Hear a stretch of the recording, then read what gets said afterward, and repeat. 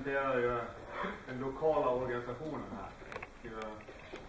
Det eh, innefattas ju av eh, ett, fri, ett riksfriidrottsgymnasium och en postgymnasial del som heter Dala Sports Academy. Och sen har vi även ett prestationscenter här som är nystartat sedan eh, ja, början av årsskiftet ungefär. Och eh, vi tycker att det är otroligt kul att se så många som har kommit hit. Det är ungefär 175 tränare och eh, som här och ta del av kunskapen som ska ges er. Och det, vi tycker det är otroligt härligt att den kommer till, till Falun. Och här finns det ju otroligt bra förutsättningar för att bedriva idrott generellt. Vi har ungefär 60 stycken idrotter som man kan bedriva, både vintertid och sommartid. Eh, och det kommer ni att upptäcka, ni som inte har varit här, det är en otrolig närhet till alla anläggningar här i Falun. Och de flesta som, ja, som kommer hit och är på träningsläger eller på tävlingar så tycker jag ofta att det är så otroligt härligt just i Falun att det är så nära till allting. Man kan bo på hotellet, man kan gå till träningen och ja, närheten är liksom, jag tror att det är en av de största sakerna som vi har i Falun som är en styrka. Och jag sitter ju, jag jobbar ju på prestationscentret sen i början av, av det här året och jag sitter i samma kontor som friidrottsgymnasiet och även på Dala Sports Academy. Och jag tycker att just konstellationen är så härligt när vi kan sitta tillsammans. Vi pratar mycket friidrott varje dag.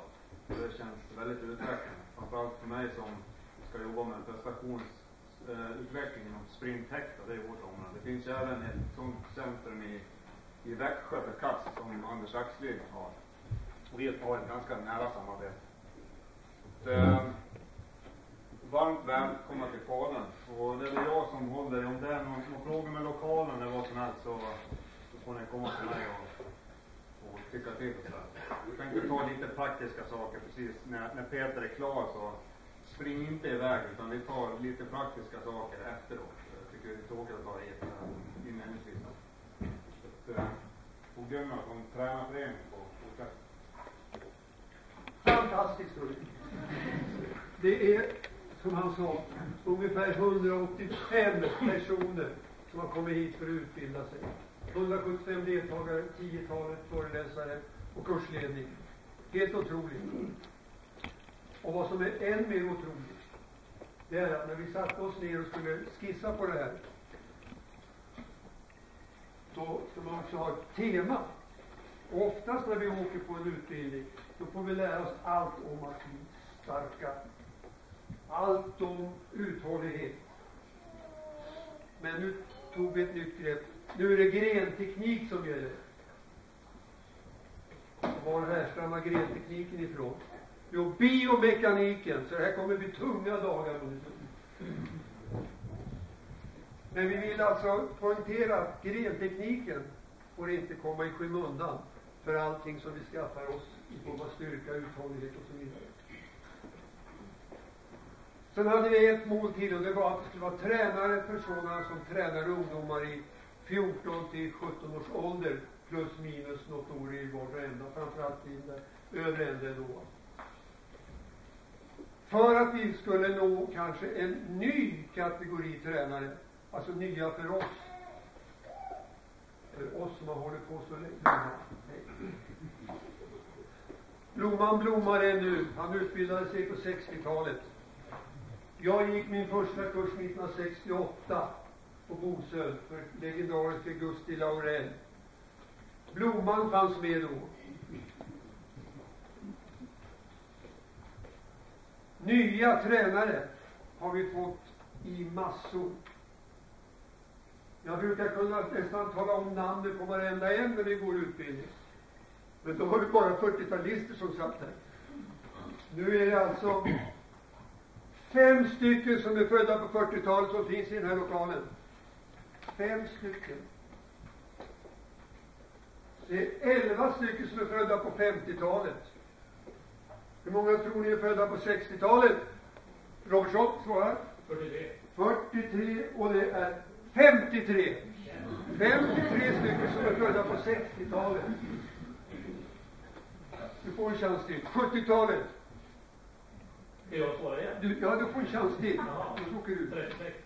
48. Applådera åt er själva. Bra. 48 stycken. Alltså, ni ser vilken enorm skillnad det är mot jag kan säga från förra året när vi hade tränarforum i Örebro. Och då var det allmänt, det var inga åldrar satta det skulle vara. Så det är en väldig skillnad. Det är 13 stycken som är födda på 80-talet. 14 stycken på 90-talet. Ja, sen kommer vi inte längre Jo! Titta där uppe. Hur gammal? Fem månader! Förra året när vi hade eh, den här lilla välkomsthälsningen, då eh, hyllade vi, vad heter han nu då, i, i, i Ove Edlund. Ove Edlund, ja. Tack Börje Nordin. Eh, Ove Edlund, han fyllde ju då 75 bast. Nu får du hylla dig som fem månader. Som ni ser, slagsidan är enorm. Eh, ja. 1985 jobbade jag ihop med en kille. En eh, ikon i svensk friidrott och framförallt på utbildningssidan.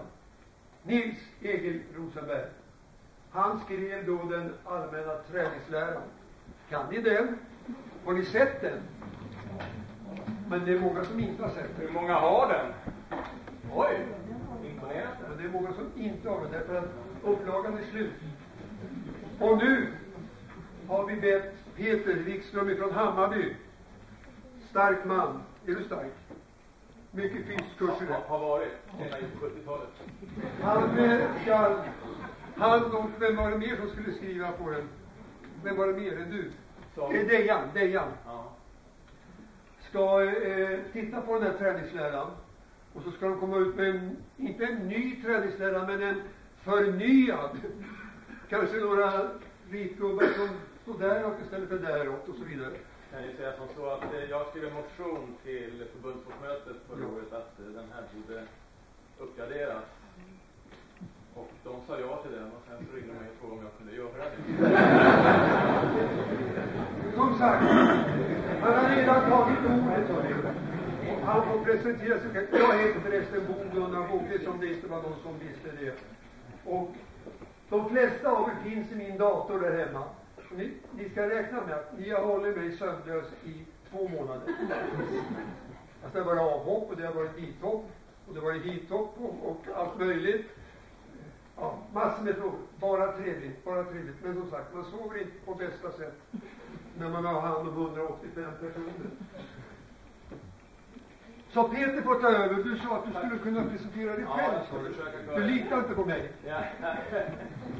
ja, jag känner mig lite grann som en dinosaurie i de här sammanhangen, men det är skönt att det finns lite fossiler här också.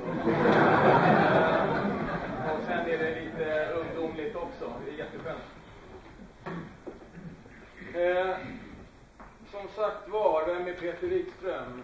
Eh, 58 år. Har fyra barn. Så alla håller på och idrottar på olika idrotter, olika nivåer. Eh, jag började som tränare, tränare redan 1973. Det var inte för att jag ville, utan det var för att de tränare i den gruppen jag var med i, de eh, sa nu slutar vi, kan du ta över? Och på den vägen är det. Så sedan 1973 har jag varit tränare på olika nivåer och i olika sammanhang. Eh, Och den gruppen jag tog över, det var från åldrarna 12-13 år upp till 18-19. Det var ett väldigt stort spann. Och jag var 16. Åringarna, de hängde på sig. Det funkade bra. Eh, själv så började jag träna 1971 som 14-åring. Eh, normal starttid på 70-talet. Startade när man var 12, 13, 14 år. Nu är det helt annorlunda. Nu startar man när man är sju för det mesta tror jag vilket var mellan sju och tio år. På gott och ont. Och det var min gympalärare som fick med mig. 1971, 76 gick jag över till Bayern. Sen var jag troget Hammarby sen dess då. Eh, jag tränade väldigt mycket själv, för jag hade liksom inga tränare som hade kunskap. Men jag ville hålla på med mångkamp. Och eh, det fanns tränare som höll på med löpning och sånt, så det blev mycket egen träning. Eh, jag kunde ingenting om träning, utan jag försökte att lära mig och lyssna på andra och så vidare. Jag gick på lite kurser på den tiden. Vad hette de? G1, G2, TL1 och TL2. Så man skaffade sig lite, lite kunskaper utifall. Men mycket av den träningen som bedrevs var seniorinriktad. Och jag behövde inte den. Jag behövde och vad händer om man tränar seniorträning i ungdomsåren? Man blir skadad. Och det blev jag också. Så min eh, karriär blev ganska kort. Jag slutade 1979, gjorde jag min sista mångkamp. Jag höll på att träna ett antal år efter det, men inte på någon högre nivå. Eh, så så är det. Men nu försöker jag att hjälpa ungdomar att träna rätt från början och försöka utvecklas. Jag jobbar som sportchef i Hammarby Friidrott heltid sedan 2002. Det har några år utveckla upp ungdomsverksamheten där i första hand, upp till 17 års ålder. Och vad gör man på fritiden då? Ja, då är man tränare på kvällarna. Startade en grupp när min dotter blev eh, sju år. Eh, nu är hon, fyller 17 här i eh, förrgår. Så jag har hängt med dem och så småningom infyllde jag en grupp med 99 som fungerade dåligt också. En åldersgrupp har jag kört nu under ett antal år. Eh, och den här gruppen har varit väldigt framgångsrik. Eh, jag ska berätta lite grann om den här resan vi har gjort.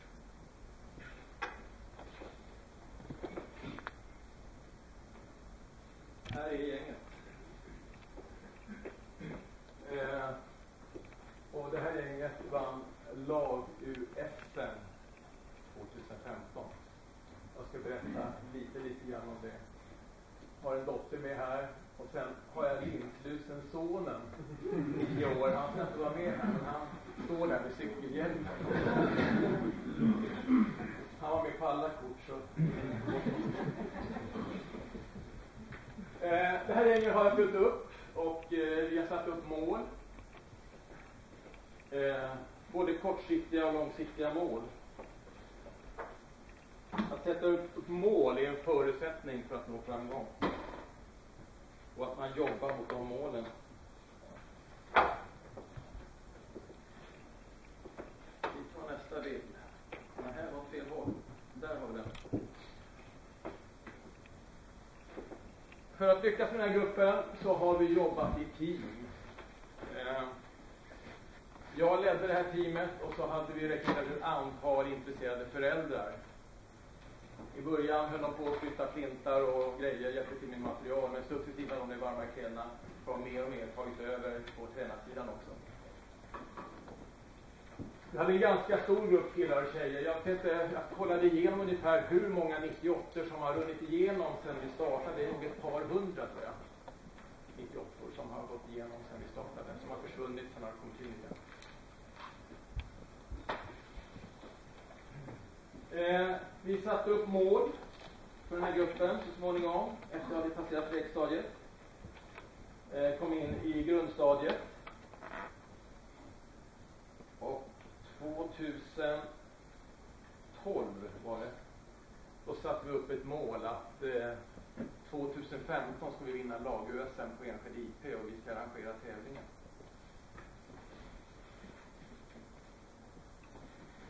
Och sen satte vi upp också en del kortsiktiga mål naturligtvis, att vi skulle vara med på kraftmätningen som, som ni känner till. Eh, och den var vi med på 2013. 2012 var vi med där förresten. För att se och lära. De flesta var ju underåriga och var bara 14 år. Och man får ju vara upp till 15 år där. Och vi kom tia på den tävlingen. Och året efter, när man var 15 år, då vann vi kraftmätningen på den högsta poängen någonsin. Och den har inga slagit än så länge, i alla fall inte de två senaste åren. Sen förstördes de här planerna för eh, det här gänget vann lag-SM 2014 redan. Eh, men då var inte så många lag med, det var bara åtta lag med på den tävlingen. Och sen så vann vi även 2015, men då var det en hel del problem med skador och elände. Jag ska berätta lite grann om det också. Vi har inte bara haft eh, medgång, vi har haft lite motgång också. Men jag gjorde en analys av läget. Vad krävs för att vinna lag-SM? Vilka grenar är det? Vilka resultat bör man göra för att eh, ta sig dit? Vi gjorde en analys. Och sen gjorde vi ett lag. Det fanns ett lag till lag-SM 2005 och redan 2012. Vi satte upp den. Vilka kan tänka sig att sätta skruv? Vilka kan tänka sig att hoppa höjd? Det räcker inte med att ha en person med i varje gren. Man måste ha två eller tre. Någon kan vara sjuk, någon kan vara skadad. Så det gäller att ha en plan, ha bra planering, strategi, taktik, rätt träning utifrån träningsläran. Eh, och vi har gjort också, också en del gruppsammanhängande aktiviteter som läger och tävlingsresor.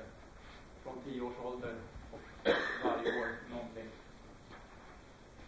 Och sen så gäller det en utvärdering efter varje säsong för att se vad vi kan förbättra och göra annorlunda. Motgångar då? Ja.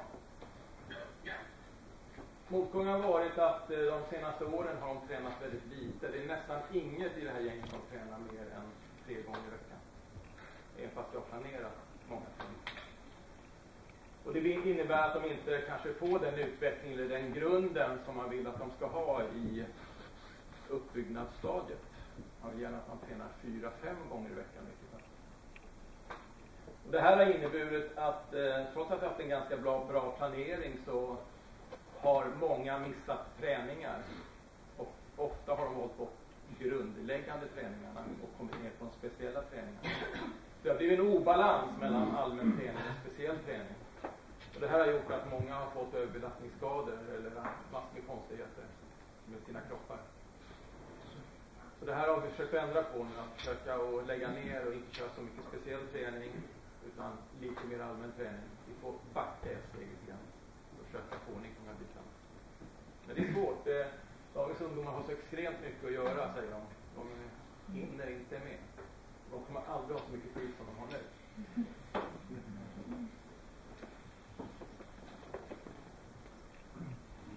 Ja, vad har tvättmaskin med det här att göra då? Eh, man måste sköta sin hygien. Nej, skämt åsido, det, det ska man ju naturligtvis göra. Man måste lära sig att sköta sig själv. Men, eh, när man planerar, det är ungefär som en maskin. Man, måste, man kan liksom inte bara slänga in tvätt i den här maskinen och tro att det är liksom trycka på knappen och så funkar det. Det är inte så, utan man måste faktiskt börja sortera tvätten. Det är fintvätt och det är vittvätt och det är kulörtvätt och det är syntetvätt nu för tiden också och massor med olika program. Eh, och sen eh, gradantal och det är centrifugering eller inte. Så det är många sådana här parametrar eh, som är viktiga att få med. Kan det torrkyllas eller inte?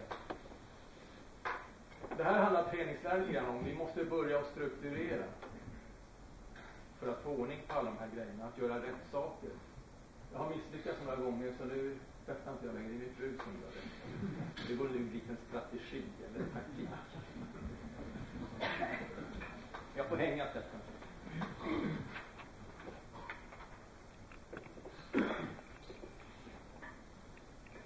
Träningsläran. Boge ska lite grann på den här. Det var Nils Egert som tog fram den här i början på 80-talet. Han gjorde ett gediget arbete. Jag tror att det var på uppdrag av Svenska Friluftsförbundet. Mm. Ja.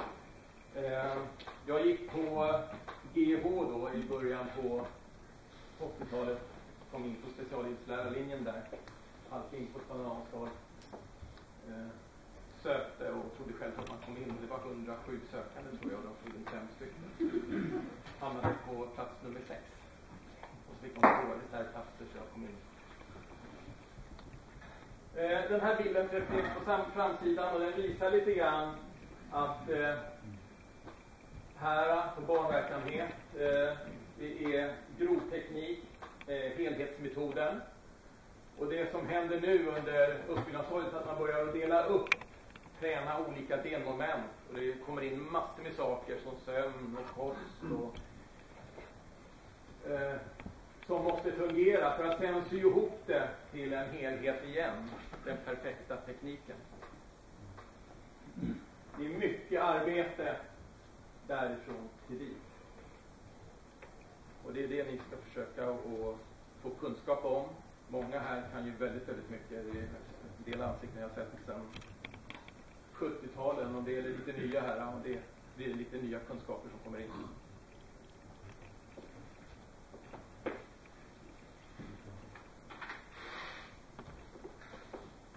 Har vi den berömda stegen. Jag hoppas att ni känner igen. Lekstadiet började på den tiden i 9-10 års ålder. Där, nu står det lite annorlunda. Nu står det 7 år. Och sen är det grundstadiet där man ska lära sig grunderna till idrott. Uppbyggnadsstadiet, som det heter. Här ska man bygga upp sina kroppar för att kunna klara det som krävs i prestationsstadiet eller högprestationsstadiet. Sen är det många som slutar. Vi har ett dilemma, inte bara svensk friidrott utan det är internationellt också. Att det är många som slutar i uppbyggnadsstadiet, åldrarna och försvinner från verksamheten. I och med att driva bra verksamhet så hoppas jag att vi kan få, om man hålla på lite längre till, till 17-18 år. Stämmer de där åldrarna då?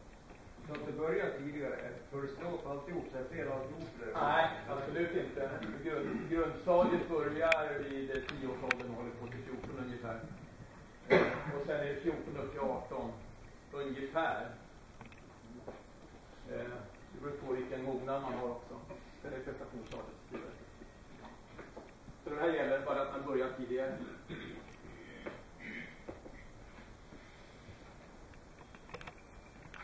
Det, är viktigt, det här är viktigt att ni kan vad ni har gjort, vad ni ska göra och vad ni kommer att göra längre fram. Så man har, har hela bilden för sig. Man måste ha liksom kunskaper om det som komma skall för att veta vad jag ska driva nu i uppbyggnadsstadiet. Det gäller inte bara att kunna exakt det jag ska göra när jag är 15. Jag måste också veta vad det här ska leda till.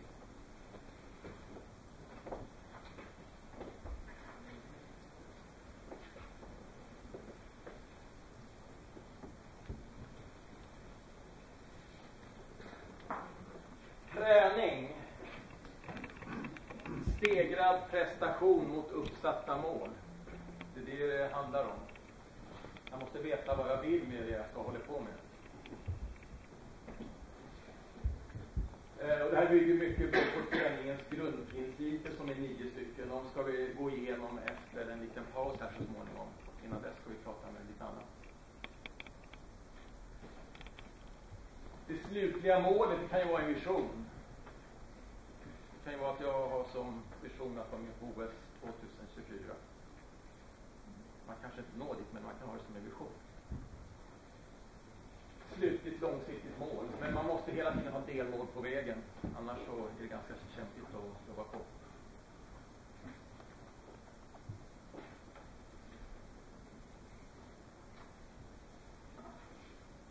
Och sen finns det som heter kravprofiler. Det, det, det är någonting som, det här är ju den allmänna träningsläran, sen finns det ju speciella träningslärare för varje gren. Och det är också någonting ni måste ha lite koll på. Vad krävs det för att göra ett visst resultat? Vad krävs det för att hoppa två meter högre? Vad krävs det för att springa 100 meter på 11 5? Sådana saker måste man veta om man ställer sig mål. Vad krävs det rent fysiskt för att göra de här resultaten?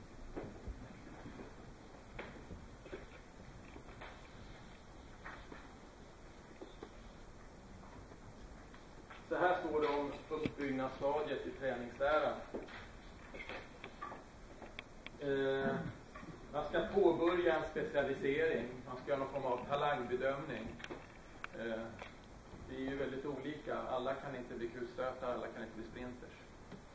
Utan eh, en del blir löpare, en del blir hoppare, en del blir kastare och så vidare. Och förhoppningsvis några som blir mångkampare också. En grengrupp som eh, har eh, haft en eh, nedgång under många år, tyvärr. Eh, och det kan väl bero på att det, man måste ha ganska stora kunskaper för att eh, träna mångkamp. Man måste kunna väldigt många grenar. Det är många föräldrar som kommer in idag och tycker det är jättejobbigt det här med spjut och stav och diskus. Utan det blir sprint, längd och kuda i bästa fall. Så eh, det är någonting vi måste jobba med, att, att få en bredare kunskap för att bedriva allsidig träning. För det är väldigt viktigt att vi gör, både på, på eh, grundstadiet och uppbyggnadsstadiet, att det finns med alla grenarna. Eller i vilket fall många av dem. Jag brukar säga så här, det är jättebra att köra mångkamp i fall upp till 17 års ålder och där så kan man göra ett val och gå vidare. Men nu gör man valet tidigare, inte alls. Utan man specialiserar sig väldigt, väldigt tidigt.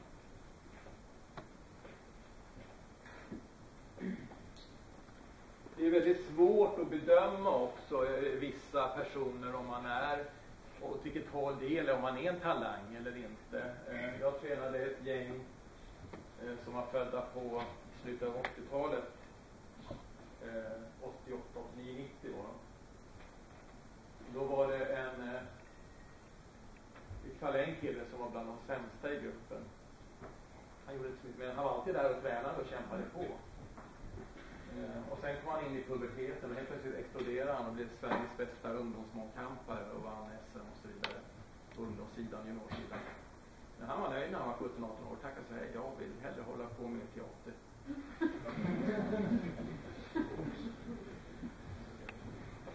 Så det är väldigt svårt att bedöma om det är en talang. Det kan hända väldigt, väldigt mycket i puberteten. Framförallt på tillsidan.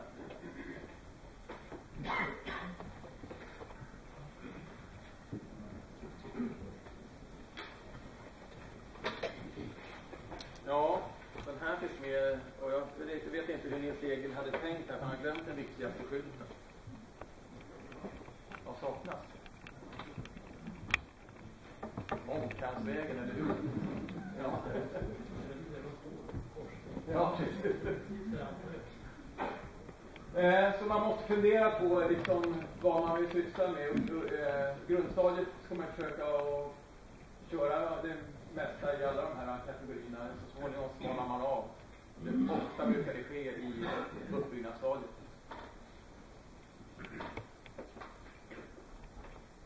Vägskälet.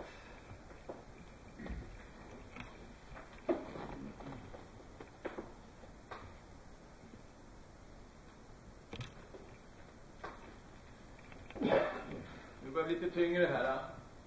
Eh, det är många saker man bör ha kunskap på om eh, för att bli en duktig tränare. Och ju äldre man tränar, ju mera olika bitar måste man börja få koll på.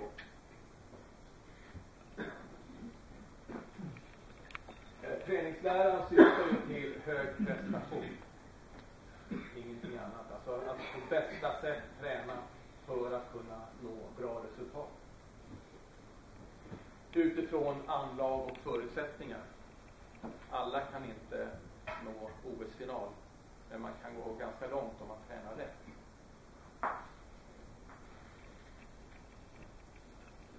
Mycket av de här bitarna fick jag inte på de friidrottsutbildningar jag gick när jag var yngre, utan det fick jag på GH. Eh, där fick jag däremot ingenting friidrottskunskaper, för de lärarna var odugliga där. Eh, men däremot fysiologi, biomekanik, kan man säga till lära om krafter och sånt. Så anatomi, hur kroppen fungerar och ser ut, muskler, senor, sådana saker. Psykologi, pedagogik, näringslära och praxis. Praxis är sådana saker som inte är vetenskapligt men man vet fungerar. Så det är många av de här bitarna som man måste börja få lite koll på. Jag har faktiskt inte vet inte hur det är på de här äh, utbildningarna 14 till 17 sidor om, ni, om man kommer in på de här ämnena. Träningslära kommer man in på lite grann, men man kanske är tvungen också att gå specifika kurser eh, för att få lite mer koll på de här bitarna, eller läsa om det i vilket fall.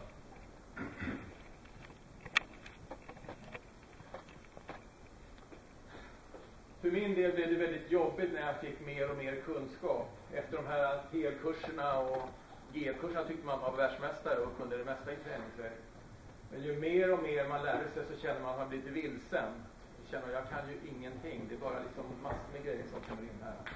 Och så kan det bli att eh, man, man, man, känner att det blir så mycket grejer att jag kan inte sortera det här. Det kan ta lite tid innan alla de här grejerna faller på plats. Och jag har fortfarande väldigt, väldigt mycket att lära. Jag har varit tränare i 42 år så känner jag att jag kan kanske bara en bråkdel av allting som man skulle kunna lära om friidrottsträning och de här bitarna också.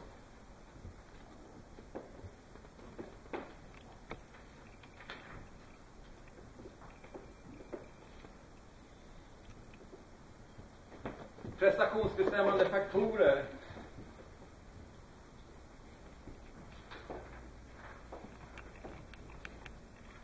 Det här är en viktig bit som ni måste börja jobba med. Eh, kunskaper. Det är inte bara ni som ska ha kunskaper, utan måste delge kunskaper till de aktiva.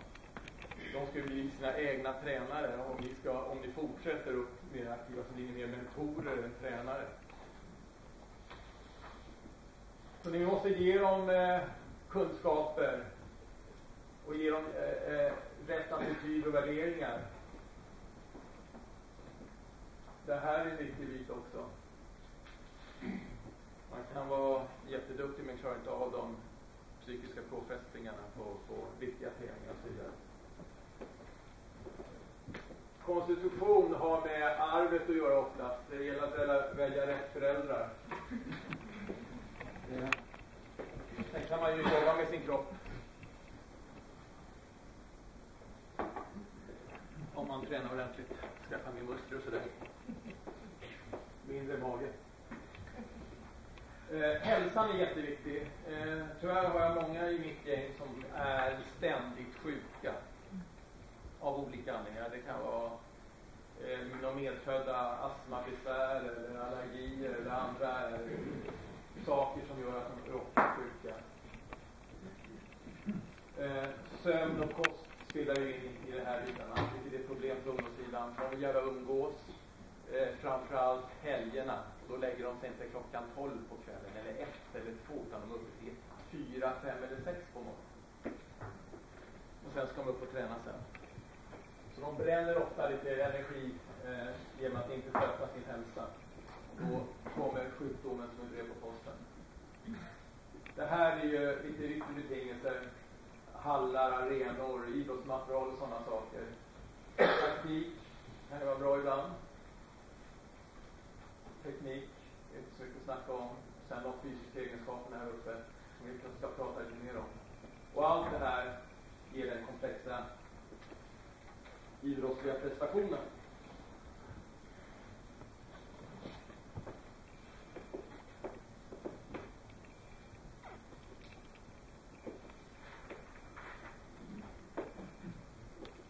Ni får gärna komma med frågor till mig i pausen eller efter den här föreläsningen. Jag kommer finnas eh, hela lördagen också och sen får vi ses på söndagen dessutom.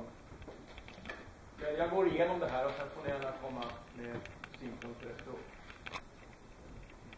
Det här är ju oftast ganska bra för att de, de fysiska egenskaperna. Det är oftast det vi tränar. Sen finns det ju massor med andra grejer som ni såg alla de här rutorna som man måste skaffa sig kunskap om. Men styrka, snabbhet, koordination, teknik, eh, uthållighet, eh, rörlighet. Det är saker som vi måste ha koll på. Eh, och allt det här hänger ihop. Det är inte avhängigt av varandra. Jag kan inte bara träna en sån här enhet styrketräning och tro att det funkar, utan allting hänger ihop.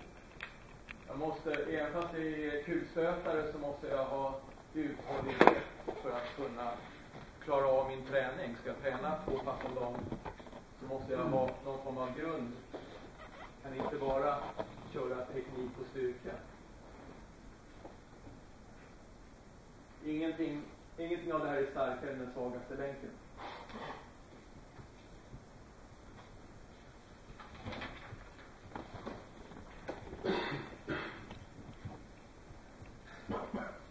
Här är ett jätteområde, styrketräning. Eh, det finns väldigt, väldigt mycket att träna olika saker.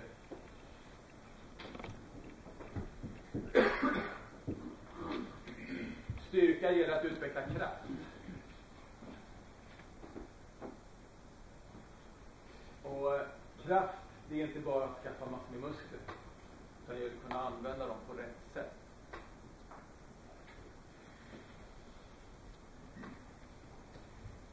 tränade i 70-talet i Djurgårdshallen och det kom in en, en kille som var rejält bitig.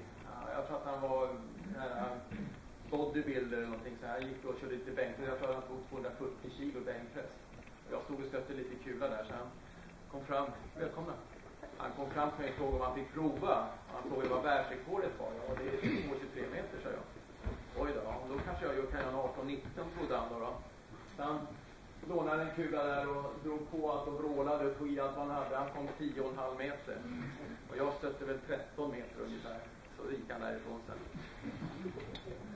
Så det spelar ingen roll om jag skaffar massor med muskler om jag inte kan använda dem på rätt sätt. Ni har säkert gjort det här fingertestet. Vi kan väl göra den. Om ni bara lägger upp handen på bordet så här.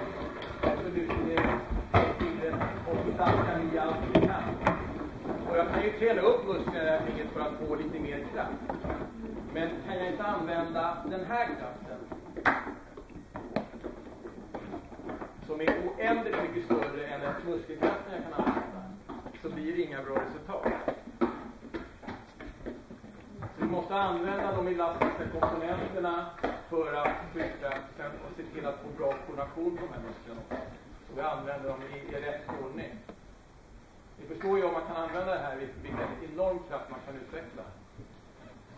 Och I friidrotten, de flesta grenar ska ju vara lätta i kroppen, inte tunga. Hopp, sprint, häck. Det är bara i tunga kasten man kan lägga på sig kilon för att man lyfta dem. Vi ska vara starka och lätta.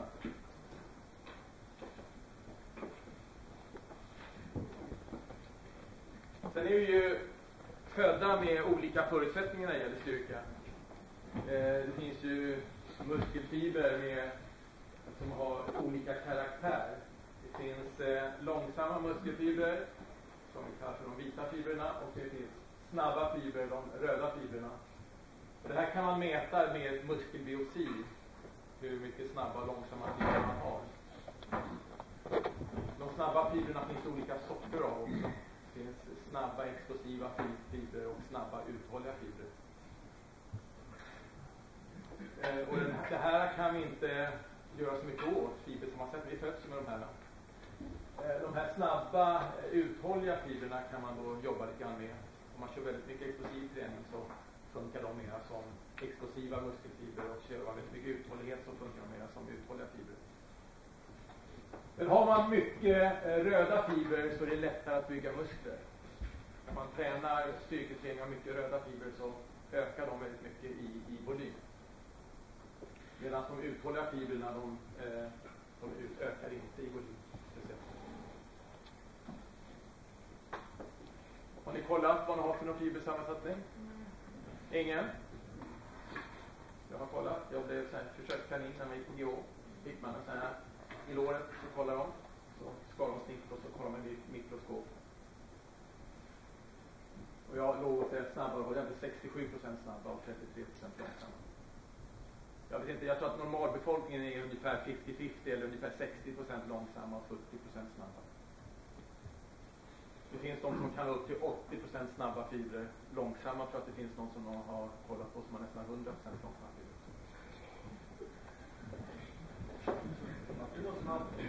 Vad sa du? Ja, jag var explosiv. Men jag tränade ju helt vansinnigt så det är liksom jag var ganska bra i, i kula. Men jag hade inte så bra teknik, men jag var den bästa Sverige i kula på ungdomssidan. Men jag var så liten och klen, jag vägde inte så mycket. Så när jag blev lite tyngre kulor sen så funkade det inte. Fyra kilos killar gick, kulan gick bra. Ja. De stora grupperna då, det är maximalstyrka. Eh, och det är tunga belastningar, långsamt utförande, eh, lång vila en eh, styrkeform som eh, vi inte tränar under uppbyggnadsstadiet. Däremot så tränar vi en underform av maxstyrka, eh, förberedande maxstyrka med lägre vikter. Snabbstyrkan är jätteviktig eh, under uppbyggnadsstadiet. Uthållighetsstyrka, det är också en sån här eh, man ska vara försiktig med, för det är ju liksom relativt hög belastning och man jobbar länge, det blir mjölksyra där. Här finns också undergrupper för eh, uthållig styrka. Det är grundstyrka eller allmän styrka. Man kör ganska många upprepningar med väldigt lätt belastning. till och med som kroppen som belastning.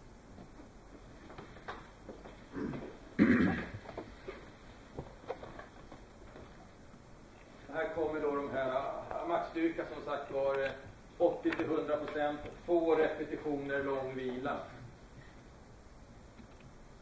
Däremot kan man ju köra flera set då. då.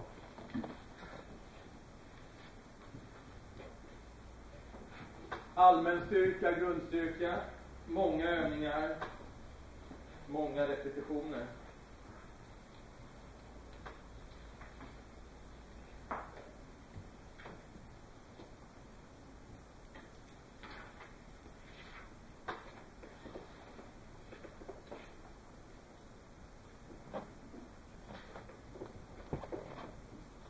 Som sagt var, snabbstyrkan är jätteviktig att träna under uppbyggnadsstadiet.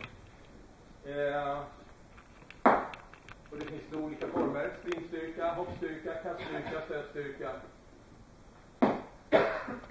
Och snabbstyrka är ju ett, ett mellanting mellan ytterlighetens snabbhet och maximal styrka. Det ligger i mellanintervall här beroende på vilken belastning jag lägger på. Det finns ett problem bara eh, när det gäller den där, som ni kanske har råkat på när har ungdomar i de här åldrarna. Vad har de för något problem? Ja. Eh, pubertetsproblemen eh, har ju ökat med åren på grund av att eh, den fysiska grundförmågan har försämrats. Decennium efter decennium. Så de här pubertetsrelaterade problemen de har ökat och det är slatter och det är helsenor eller fästet i hälen eh, som är ett liknande problem på slatter men sitter i, i hälbenet kan man säga. Eller fästet av hälsenan ner under hälen. Ryggproblem är också vanliga. Så när det gäller hoppstyrkan så kanske man får vara försiktig under några år. Man kan köra mycket lågintensiva hopp Eh, andra typer av, av snabbstyrka. Aktionsstyrka, medicinboll, eh, kulkast eh, och sådana saker. Nej, det är jättetråkigt. En del har jätteproblem, en del får problem bara någon månad, en del har problem i flera år med de här pubertetsrelaterade. Jag vill, jag vill inte säga skador, för det är ingen skada, utan det är ett symptom.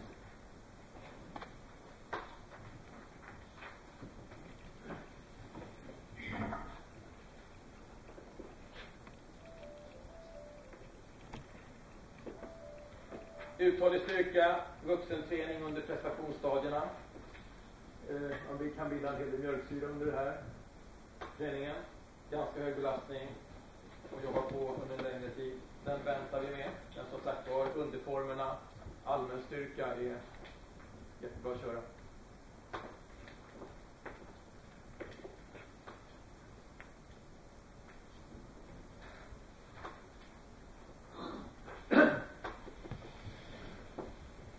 snabbhet och eh, snabbstyrka hänger lite grann ihop.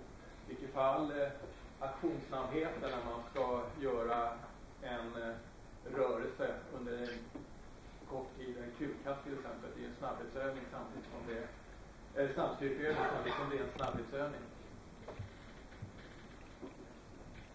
Eh, det viktiga eh, när det gäller snabbhet är att veta att eh, det ska vara en eh, hög intensitet. Man brukar säga, brukar säga mellan 96 och 100 procent. Eh, och varaktigheten ska vara ganska kort. 6-7 sekunder max. Sen är det inte snabbhet längre utan sen snabbare uthållighet. Man använder ATP som energikälla och den är, det, det är adenosintrifosfat som finns lagrad i muskulaturen. Eh, och den återbildas om man vilar man bör vila två till fem minuter för att det ska återbildas. Sen kan man köra max igen.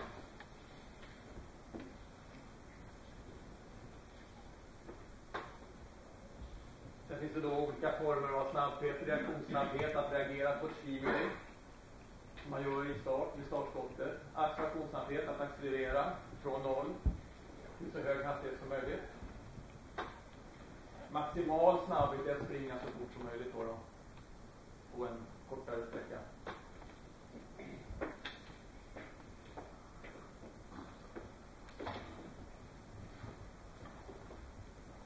Allmän snabbhet, grundsnabbhet.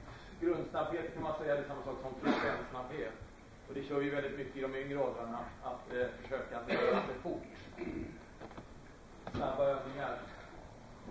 Speciellt snabbhet är ju riktad mot den grenen man håller på med. Optimal snabbhet, optimal betyder bästa möjliga. Och det är inte alltid man kan använda maximal snabbhet eh, i, i trestegsansats, höjdhoppsansats och så vidare. Det är att anpassa hastigheten så att man får bästa möjliga. Att man klarar av att göra ett hopp eller vad man nu ska göra. Eh, det kan också vara bra i under att eh, inte köra max max. Ofta kan det gå fortare om man ligger submax. Det är lätt att man spänner sig om man försöker ta i allt man kan. Sen det kanske vara bättre att ligga lite under så att den tekniska skolningen blir bra. Ofta när man säger att man ska ta i, jag vet inte om ni har testat det, flygande 30 meter. Och så säger man, nu ska ni köra lite lugnt här eller strax under max, submax. Man kör kanske på 97-98 procent. Och sen så bara, nu får ni springa allt ni kan och så blir det lite sämre tid. Ofta beror det på att man vill ta i för mycket, att man spänner sig. De här koordinativa rörelserna blir sämre än när man kör strax under Man.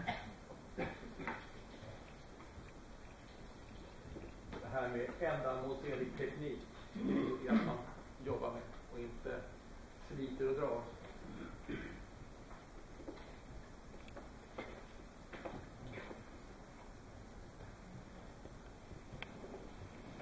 Här är bara en bild som visar lite grann olika metoder. Eh, och det står ju omfång max 60 meter och har man barn och ungdomar så 60 meter, de springer inte 60 meter på 67 sekunder utan de, då får man ha kortare sträckor, 40-50 meter kanske. Stegringslopp kan man springa längre. Det är där man börjar med en låg fart och springer bara fort den sista biten. Varaktighet, som sagt var 6 sekunder, har paus i pausen.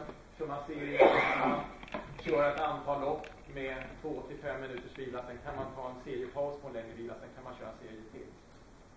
Eh, kanske, det är kanske mer seniorinriktad träning man gör det på, på unga. Jag, jag har testat ikväll.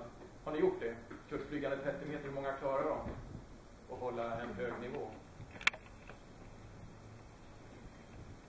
Fyra. Fyra? Ja, då är de vältränade. Eh, oftast eh, brukar det första eller andra vara det snabbaste och sen så brukar det dyka lite grann. Det behöver, behöver inte vara mycket men med någon, någon hundradel. Så när det gäller snabbhet så är det bra att kanske mäta ibland också. Vilken hastighet har de? Hur fort går det? När börjar effekten att doppa ner?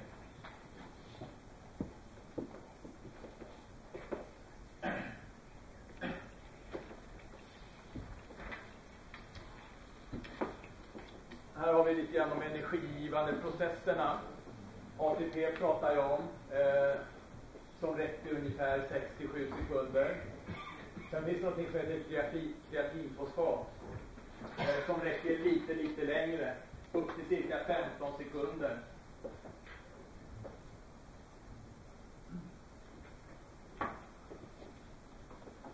Och sen har vi glykogen som bränsle. Och håller man på ännu längre, vad använder vi då? Finns ett bränsle till. Fettet, precis. Och det kan räcka väldigt länge. De här ultralöparna, maratonlöparna använder ju fett som bränsle. När de håller på så länge. Framförallt i slutet av loppet. När de går in i väggen och då de börjar med den här fettförbränningen, när de börjar dippa på slutet.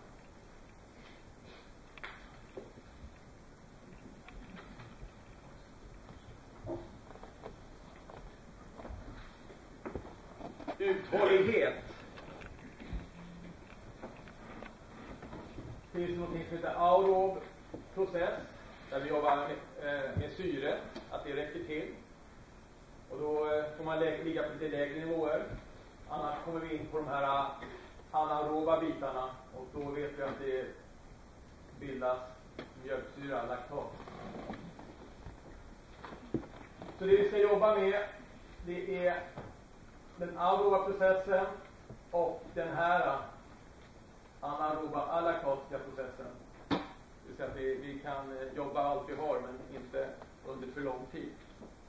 Då blir det mjölksyra. Och man vet väl inte riktigt, jag, jag har inte fått någon riktigt bra förklaring på det här med eh, varför vi inte ska köra mjölksyra Eh, under ungdomsåren. Men man vet av praxis att kör man mycket speciell uthållighet i ungdomsåren så man kan få en väldigt boost av den, Alltså prestera väldigt bra resultat. Eh, men man vet också att stagnation kommer ganska fort. Jag fick köra en hel del sån här mjölksyreträning när jag var yngre. Och det blev tvärstopp. Det hände ingenting sen. Eh, och det står redan i böcker från eh, tidigt eh, 1900-tal att det är inte bra att träna speciell uthållighet i unga år. Jag har fått någon förklaring att de här mitokondrierna, energifabrikerna som finns i muskulaturen, att de förstörs på något sätt. De förbränns. Att, att de, på något sätt förbrukas. Det var ungefär en läkare som förklarade mig. Sen vet jag inte om det stämmer. Men, vi vet att det händer någonting med kroppen som inte är bra om man vill eh, satsa på att eh, prestera på högre nivå än på ungdomsnivå. Därför har jag motionerat om på förbundsårsmötet att vi ska ta bort 400 meter från ungdomsklasserna. Det har ju 400 meter från 16 år tror jag på ungdomsklasserna, men de har 300 meter istället. Det gick tyvärr inte igenom. Så man vill ju följa de internationella reglerna.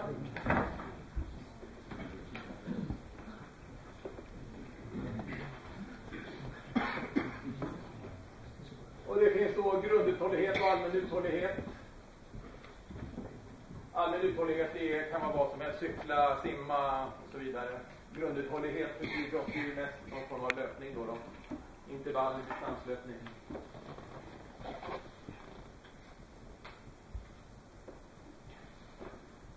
Här kommer vi in på den här speciella uthålligheten.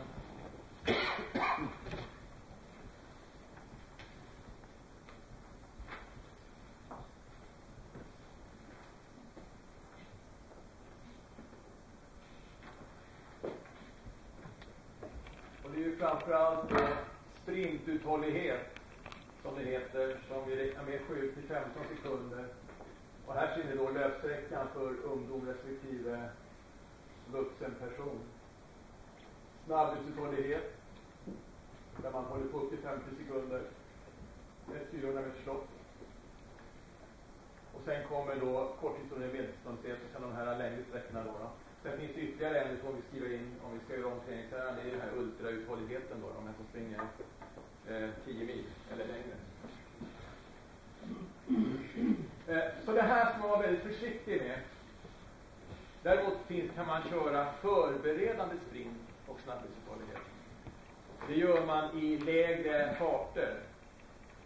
Eh, mellan 70 och 80-85 procent kan man köra ganska många lopp. Med lite kortare vila.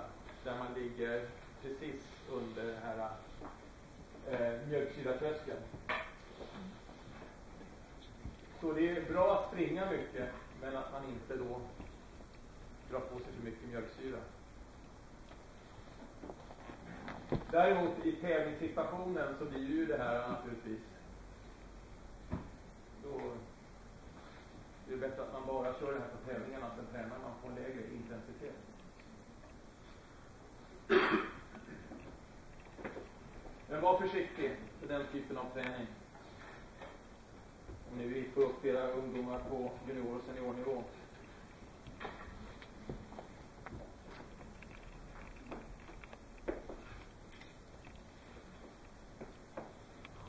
Rörlighet är en faktor som eh, har blivit viktigare. Vi mär, jag märker att på varje kull som kommer så är barnen stelare. Och man blir stel av att inte röra på sig. Som barnen rör sig mindre idag än man gjorde för 30, 40, 50 år sedan så, så är de stelare.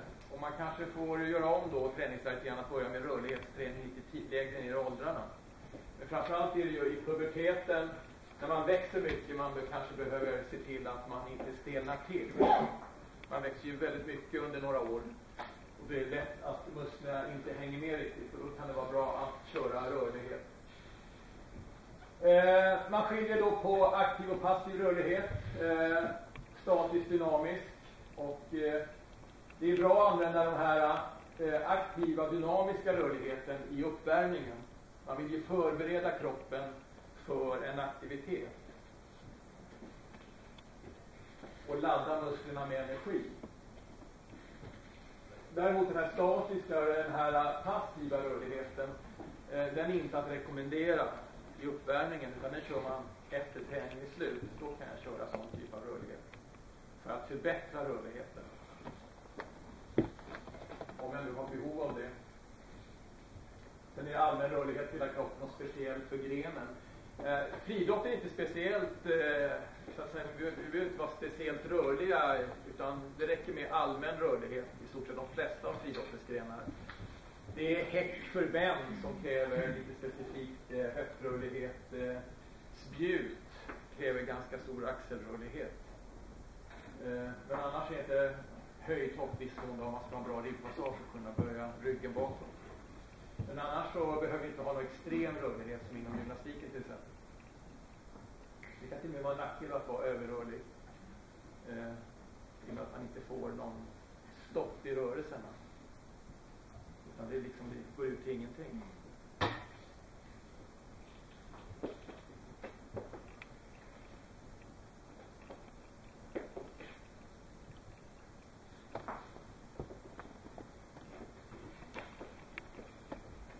Man kan tänja. Jättebra uppvärmning som sagt var. Stretcha. Eh, och då gärna under en längre tid. 30 sekunder kanske. Håller man. Så. Baksidan. Oj. Eh, sen finns det någon kontraktion, avslappning, töjning där. Eh, som är en form. Där jag kontraherar muskeln. Pressar ner hälen.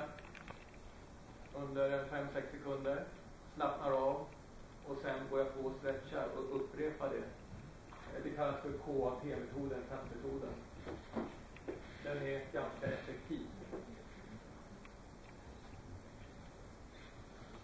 Men som sagt var, kontraktion, avslappning, töjning och stretchmetoden, eh, kör den gärna i slutet av träningen.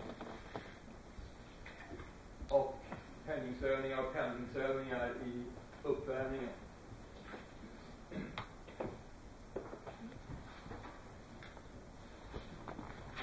Koordination, eller teknik, är ju väldigt viktigt att träna.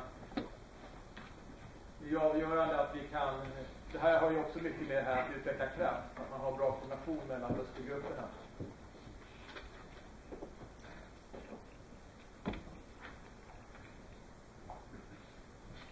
Och sen finns det då massor med under eh, orienteringsförmåga. Det är ju väldigt viktigt att jag har det.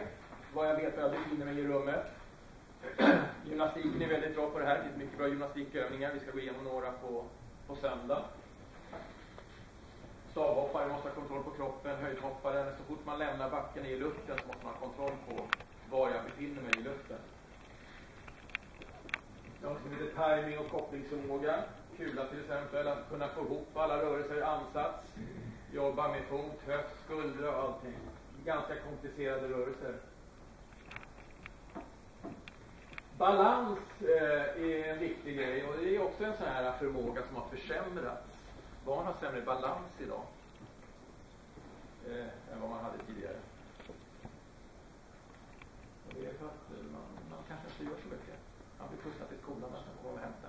Man går inte balansgång på de här räckena som fanns längre. Men det är viktigt att ha en god balans.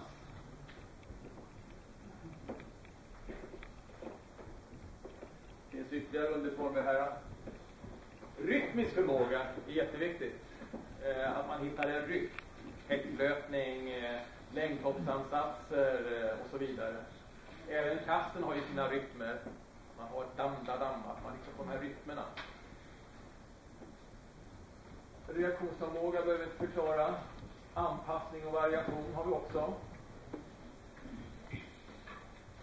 Eh, det är viktigt att kunna anpassa sig till uppkomna situationer. Eh, det kanske är så att man kommer till en tävling och ska kasta disk och ser plötsligt är ringen jättehal. Och ska kunna anpassa mig till det och kanske inte ta i lika mycket i ansatsen för att kunna få ut ett kast. Och sen finns det allmän koordination och eh, koordination som inriktas på just den grejen jag vill träna. Tror väldigt mycket koordination i, eh, barn och ungdomsåren. Sen övergår det mer och mer till inriktad teknikträning i de olika grenarna. Eh, vad vill jag säga här? Eh,